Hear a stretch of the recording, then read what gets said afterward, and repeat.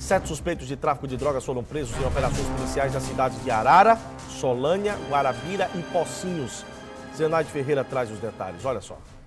A operação teve como objetivo desarticular o esquema de distribuição de drogas no Brejo Paraibano. Ao menos quatro traficantes foram presos nos municípios de Arara, Solânia e Guarabira. Funcionava uma boca, uma boca de fumo.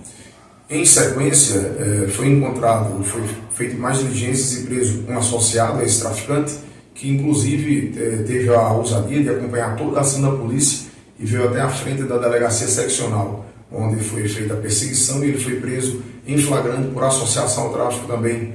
Em decorrência dessas prisões, foi levantado que havia uma rota de tráfico conectando as cidades de Pilõezinhos, Cuitegi e Arara, e que havia um veículo, né, já de informação da polícia, as características dele, queria trazer drogas no dia seguinte. Com isso, foi feita uma diligência e realizada a abordagem no carro.